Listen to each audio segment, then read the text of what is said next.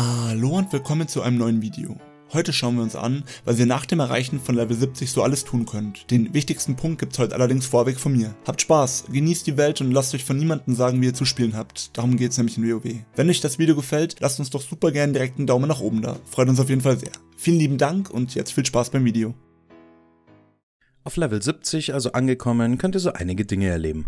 Fangen wir zugleich mal beim ersten Punkt an, welcher vor allem am meisten euren Geldbeutel belasten wird. Das Flugmount. In TBC benötigt ihr dieses, um so manche Stellen wie zum Beispiel den World Boss Kazak oder die Instanzen im Netherstorm rund um die Festung der Stürme erreichen zu können. In letzterer genannte Instanz, genauer gesagt in die Alcatraz, müsst ihr sogar für eure Karasan Prequest.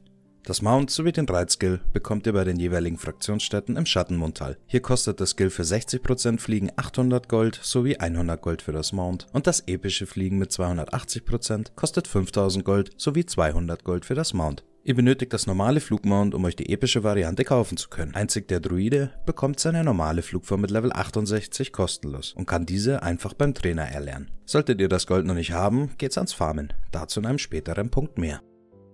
Nun könnt ihr dank Flugmount eure Karazam Prequest beenden. Wie wir ja schon in unserem Karazam Prequest Guide empfohlen haben, habt ihr bereits mit Level 68 die Quest begonnen und soweit abgeschlossen, dass ihr nur noch nach Alcatraz müsst, um das dritte Fragment zu holen. Anschließend noch in die Instanz der Schwarze Morast, um die Reihe abzuschließen. Den Schwarzen Morast bzw. HDZ2 findet ihr in den Höhlen der Zeit. Um diese betreten zu können, müsst ihr im Vorfeld vor der Instanz eine 10-minütige Begleitfest erledigen, sowie im Anschluss einmal HDZ1 bzw. Vorgebirge des alten Hügellandes einmal abschließen. Den kompletten Guide zu Karasan verlinken wir euch unten in der Videobeschreibung. In diesem erklären wir in nur zwei Minuten, wie ihr die Vorquest meistern könnt. Alles klar, wir haben also unser Flugmount und die Kara-Pre ist auch durch. Allerdings fehlt uns noch das passende Equipment. Aber wo kriegen wir das her? Eine der Möglichkeiten wäre durch Quests. In The Burning Crusade gibt es viele Items, welche ihr aus diversen Quests aus der Welt bzw. aus diversen Dungeons ganz gut für den Start in die ersten Raids gebrauchen könnt. Manche Items sind zudem relativ leicht zu bekommen. So genügt euch zum Beispiel bei der Quest der Wille des Kriegshäuptlings, welche in Thralmar bei der Horde bzw. in der Ehrenfeste bei der Allianz startet, das einmalige Clearen der zerschmetterten Hallen für eine dieser vier Items. Vor allem der Umhang könnte hier für viele Heiler ganz nett sein, speziell für Schamanen. Aber auch die Quest, die ultimative Beute, lässt euch sehr gute Ausrüstung bekommen. Besonders die drei Relikte für Heildruiden, Paladine und Schamanen können sich hier sehen lassen. Die Quest startet bei Hammett Nessingwary in Nagrand. Dort müsst ihr anschließend nur einen Gegner töten, das Quest-Item looten und schon kommt ihr an eure Beute. Hierzu werdet ihr allerdings eine Gruppe benötigen. Um hier jetzt nicht den Rahmen zu sprengen, bringen wir schon bald ein separates Video raus, in welchem wir euch die besten Quests mit starken Belohnungen raussuchen und im Detail erklären. Bleibt also gerne dran. In der Burning Crusade gibt es außerdem extrem starke Beine- und Equip-Gegenstände oder im Deutschen beim Anziehen gebunden. Items also, welche von Spielern gefunden und verkauft werden können. Um hier ein paar Beispiele zu nennen, die Robe des Purpurordens ist für diverse Caster eine gute Brust, um die ersten Raids zu bestreiten aber auch die Brustplatte des raschen Angriffs für Jäger kann sich durch und durch sehen lassen. Ihr seht rechts im Vergleich mal die Level 70er Dungeon Set Brust des Jägers. Für ein Item, welches man sich einfach mit Level 68 für Gold kaufen kann, recht sehenswert. Einen großen Geldbeutel natürlich vorausgesetzt. Wenn ihr diesen habt und euer Geld nicht anderweitig investieren wollt, dann schaut doch gut und gerne mal im AH vorbei und haltet die Augen offen. Eine weitere Methode wäre natürlich das Grinden von Level 70er Instanzen auf der normalen Schwierigkeitsstufe. Macht das allerdings nur so lange, bis ihr den jeweiligen HC-Key habt, bzw. euch von eurem Equipmentstand sicher genug fühlt, um die Instanzen zu bestreiten. Dort gibt es einfach besseren Loot. Zu den Heroic-Instanzen kommen wir dann auch noch gleich im nächsten Punkt. In allen Level 70er Dungeons, also den zerschmetterten Hallen, der Dampfkammer, den Sethek-Hallen, das Schattenlabyrinth, Botanica Mechana und Alcatraz sowie dem Schwarzen Morast könnt ihr das Dungeon Set 3 looten, welches für manche Klassen ein starkes Upgrade mit sich bringt. Dieses kann man ganz gut mit dem T0-Set aus Classic vergleichen, nur dass es teilweise etwas sinnvollere Stats hat. Zudem gibt es noch ein klassenunabhängiges Set für jeden Rüstungstyp. Vier Stück, also an der Zahl. Diese sind deutlich universeller. Wir verlinken euch das Set sowie die anderen vier Rüstungssets in der Beschreibung. Ab The Burning Crusade kommen zudem die sogenannten Heroic-Instanzen ins Spiel. In diesem bekommt ihr besseren und teilweise sogar epischen Loot sowie sogenannte Heroic-Marken, auf welche wir gleich noch in einem anderen Punkt eingehen werden. Die HC-Dungeons sind für Level 70 ausgelegt und benötigen zusätzlich einen Eintrittsschlüssel. Den Schlüssel bekommt ihr ab der Rufstufe respektvoll von den jeweiligen Fraktionen. Für die Instanzen der Höllenfeuer-Zitadelle auf der Höllenfeuer-Halbinsel wäre das bei der Horde Thralma und bei der Allianz die Ehrenfeste, für die Dungeons im Echsenkessel, in den Zangermarschen die Expedition des Szenarios, im Ochinduon, im Wald von Terraka, beim unteren Viertel, in der Festung der Stürme im Netherstorm, bei Shatar sowie in den Höhlen der Zeit in Tanaris bei den Hütern der Zeit. Wir verlinken euch die Standorte aller Fraktionshändler in der Beschreibung, bei welchen ihr die HC-Skis kaufen könnt. Wie werdet ihr nun aber respektvoll? Ihr könnt in allen genannten Gebieten in den jeweiligen Instanzen bis zur Rufstufe Wohlwollen spielen. Pro Dungeon Hub gibt es jedoch ein bis zwei Instanzen, welche darüber hinaus Ruf gewähren. Zum Beispiel die zerschmetterten Hallen in der Höllenfeuer-Zitadelle, die Dampfkammer im Echsenkessel, die Sethek-Hallen sowie das Schattenlabyrinth im Auchinduan oder jegliche Instanz in der Festung der Stürme im Netherstorm. Vergesst zudem nicht die Quests, welche ihr in den jeweiligen Gebieten machen könnt. Die Quests bringen ebenfalls noch einmal einen gewaltigen Rufpush mit sich.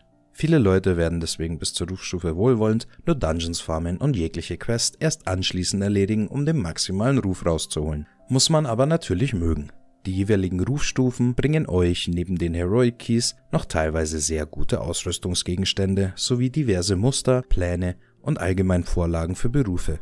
Zudem ebenfalls abrespektvoll die Kopfverzauberung für die jeweilige Ausrichtung machen wir auch gleich weiter mit den vorher angesprochenen Heroic-Marken, besser bekannt als Abzeichen der Gerechtigkeit. Die Abzeichen sind eine neue Währung, mit welcher ihr euch spezielle epische PvE und PvP-Items sowie weitere Verbrauchsmaterialien und Gems kaufen könnt. In den HC-Instanzen lässt jeder Boss eine Marke fallen. Zudem kann man diese in gewissen HC-Daily Quests erlangen unserer Meinung nach aber ein super System, da es jeden Spieler im Raid bzw. in der 5er Instanz belohnt, auch wenn er kein Item bekommen hat. Schaut also mal bei den Händlern in Shadrat vorbei und macht euch selbst einen Überblick, was ihr euch am besten holen und kaufen wollt. Um entweder gutes Gold damit zu machen oder euch selbst starke Items zu bauen, solltet ihr eure Berufe auf 375 hochziehen. Die diversen epischen Sets der Schneider, das Schmuckstück des Alchemisten, die extrem starken Waffen und Rüstungen des Schmieds die Ringverzauberung der Verzauberer, die Brillen der Ingenieure, die Steine der Juweliere oder auch die Trommeln der Lederer nur als Beispiel zu nennen. Jegliche Berufe in TBC haben grandiose Vorteile, vor allem mit den jeweiligen Spezialisierungen ab Level 68.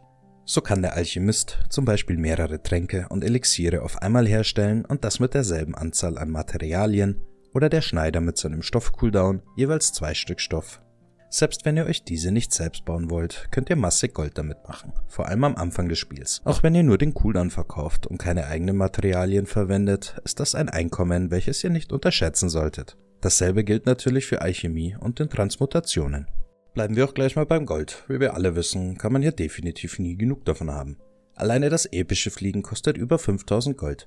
Seid ihr zudem Spieler, die schnell ihre Herstellungsberufe maximieren wollen oder auch so manche beim Anlegen gebundenen Items kaufen möchtet, kostet das einige Goldmünzen. Wie komme ich jetzt aber an Gold? Wir zählen euch hier mal einige Methoden im Schnelldurchlauf auf. Auch hierfür wird es aber noch ein separates Video geben. Questen. Auf Level 70 Quests zu erledigen bringt mehr Gold, da ihr statt der XP vergütet werdet. Zudem könnt ihr gleichzeitig bei den Fraktionen die Quests erledigen, bei denen euch noch der Ruf auf respektvoll für die jeweilige HC-Instanzen fehlt. So gesehen eine Win-Win-Situation. Auch Herstellungsberufe und die genannten Cooldowns können euch einiges einbringen, aber auch bedeutungslosere Items, wie zum Beispiel die Netherstoff 16er Tasche, werden am Anfang weggehen wie warme Semmeln. Schaut euch einfach mal genau um, was ihr aus euren Herstellungsberufen machen könnt. Bei den Sammelberufen natürlich dasselbe. Jeder Spieler benötigt vor allem am Anfang etliche Ressourcen, um seine Berufe zu pushen. Die meisten geldgesegneten Leute werden da aufs Auktionshaus zurückgreifen. Eine weitere Möglichkeit wäre es, die Ruf-Items für Aldor und Seher zu farmen. Dort gibt es nämlich neben guten Vorlagen für Berufe und Items, die sich sehen lassen können, die einzigen Schulterverzauberungen in TBC. Jeder Min-Maxer wird also versuchen, den Ruf so schnell es geht zu pushen. Eine andere Methode wäre es, die jeweiligen Ressourcen für die Berufe zu farmen. Hier bietet sich vor allem Urmana, Urfeuer, Urluft, Urerde, Urwasser und Urschatten an. Diese könnt ihr in Form von Partikel, von diversen Mobs, wie zum Beispiel den Elementaren auf dem Elementarplateau in Nagrand oder anderen Wesen in der Scherbenwelt farmen, auch wenn es hier vermutlich meistens sehr überlaufen sein wird. In TBC kamen zudem die Daily Quests ins Spiel. Ebenfalls eine gute Methode, um an das ein oder andere Goldstück zu kommen, wo wir auch gleich beim nächsten Punkt wären. Wie erwähnt kommen die Daily Quests mit der Burning Crusade ins Spiel und hiervon gibt es tonnenweise. HC Dungeon Quests, Fraktionsquests, diverse Beruf sowie PvP Dailies. Die Dungeon Dailies findet ihr zum Beispiel in Shatrat im unteren Viertel. Für beide Varianten findet ihr dort einen NPC samt Hologramm, der euch schon mal ohne die Quest anzunehmen zeigt, wohin es gehen wird. Bei der Heroic-Version bekommt ihr neben Gold Ruf beim Konsortium sowie Ruf bei der jeweiligen Fraktion der Quests noch weitere Abzeichen der Gerechtigkeit. Außerdem gibt es noch Daily Quest Gebiete, wie zum Beispiel die Shatari in den Wäldern von Terokar, bei der es auf ehrfürchtig den Netherrochen als Mount gibt, die Ogrela in Shergrad, bei denen ihr neben Gold und Ruf noch andere nette Items bekommen könnt, sowie das Daily Quest Gebiet der Offensive der zerschmetterten Sonne auf der Insel von Keldanas. Die genannten Gebiete werden allerdings sehr wahrscheinlich erst mit den kommenden Phasen ins Spiel kommen und nicht von Beginn an im Spiel sein.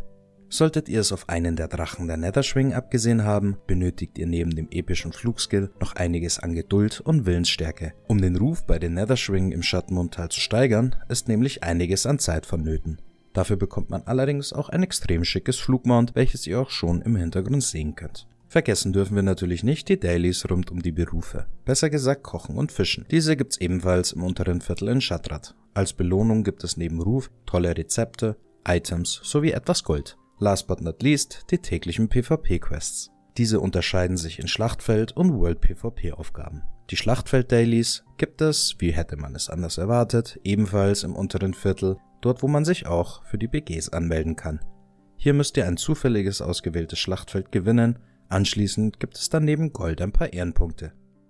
Die World PvP Quests finden in einer der vier World PvP Zonen statt. Nagrand, Terraka, der Höllenfeuer-Halbinsel sowie den Zangermarschen. In Nagrand müsst ihr zum Beispiel 10 Spieler der gegnerischen Fraktion in der Nähe von Halar töten. In den Wäldern von Terraka müsst ihr Geistertürme erobern, auf der Höllenfeuer-Halbinsel alle drei PvP-Gebäude einnehmen sowie in den Zangermarschen die Herrschaft der Zwillingsspitze übernehmen. Als Belohnung gibt es hier neben Zonenbuffs wie 5% erhöhten Schaden oder Erfahrung diverse andere Items oder Vorteile für die jeweilige Fraktion. Wer sich das Ganze rund um die Belohnungen und weitere Benefits im Detail anschauen will, findet die passenden Links in der Beschreibung. Überlegt euch wann und ob ihr umskillen wollt. Viele der Klassen leveln in einer ganz anderen Skillung, wie sie später im Endgame spielen werden. Nehmen wir den Priester. Ihr seid gerade auf 70 angekommen und habt von 60 bis 70 entspannt als Shadow Priest gelevelt und habt diese Skillung nach wie vor. Was ihr allerdings wisst, ist, dass ihr in den kommenden Raids definitiv heilen wollt. Wann skillt ihr also am besten um? Überlegt euch gut, ob ihr nicht im Vorfeld noch die ganzen Quests in den anderen Zonen als Shadow machen wollt und vielleicht sogar das ein oder andere Mob für gewisse Items grinden möchtet. Zum Beispiel der Grind für die jeweiligen Partikel auf dem Elementarplateau. Normale Instanzen könnt ihr auch als Shadow mit diversen Heil-Items, welche ihr auf dem Weg nach 70 mitgenommen habt, relativ entspannt heilen. Die richtige Gruppe natürlich vorausgesetzt. Ihr wisst auf was wir hinaus wollen. Macht euch Gedanken und skillt erst eure Raid-Skillung, wenn ihr meint, dass ihr alles andere erstmal soweit erledigt habt. Zurückskillen kann man aber natürlich im Zweifelsfall immer noch. Eine andere Möglichkeit, jede Menge Spaß zu haben und ein gutes Gear zu kommen, wäre der Weg über PvP. Mit der Burning Crusade, genauer gesagt mit dem Pre-Patch, wurde das alte Ranking-System abgeschafft. Ab dann könnt ihr PvP-Ausrüstung gegen Ehrenpunkte und Abzeichen der jeweiligen BGs erwerben. So habt ihr die Möglichkeit, ohne Stammgruppe und ohne monatelangem Grind an allgemein ganz gutes PvP-Equipment zu kommen. Ein paar der Items sind ebenfalls ganz gut in den Raids zu gebrauchen, vor allem wenn man noch nichts besseres hat. Manche Klassen, wie zum Beispiel der Feral Tank, können zum Start sogar weit mehr als nur ein paar Teile benötigen, da die viele Ausdauer samt der hohen Rüstungswert ihnen sehr entgegenkommt. Zudem habt ihr die Möglichkeit 2 gegen 2, 3 gegen 3 oder auch 5 gegen 5 Arena zu spielen.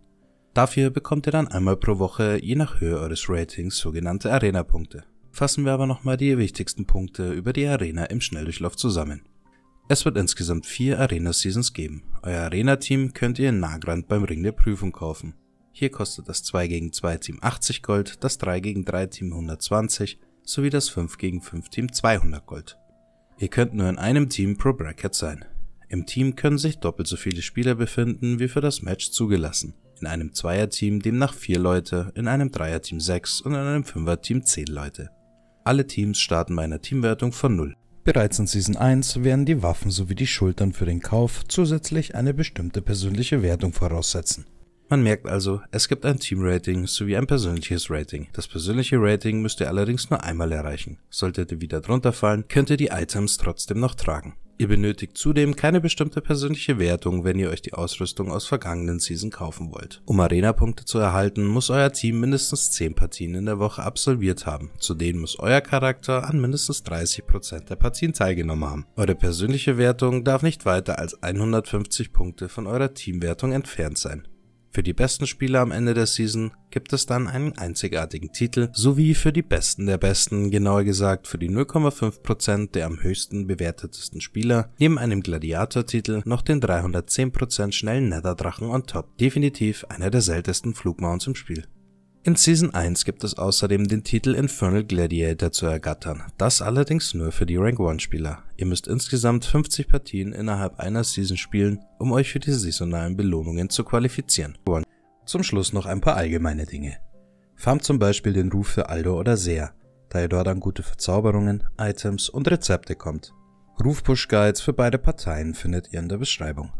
Installiert euch passende Add-ons wie zum Beispiel Deadly Boss Mode zum Raiden oder stellt allgemein euer Interface ein. Zudem gibt es natürlich noch diverse PvP-Addons, welche euch das Leben erleichtern könnten. Abgesehen davon könnt ihr zudem die Prequest für Alcatraz oder die zerschmetterten Hallen machen. Dadurch macht ihr euch auf jeden Fall bei allen Mitspielern beliebt, da nur einer der Gruppe den Schlüssel benötigt. Wo diese beginnen und wie die Quests heißen, findet ihr ebenfalls in der Beschreibung. Wenn euch das Video gefallen hat, schreibt uns doch gerne einen Kommentar und lasst einen Daumen sowie ein Abo da. Freut uns auf jeden Fall sehr. In diesem Sinne, viel Spaß auf Level 70 und immer genügend Mana-Tränke mitnehmen. Man weiß ja nie.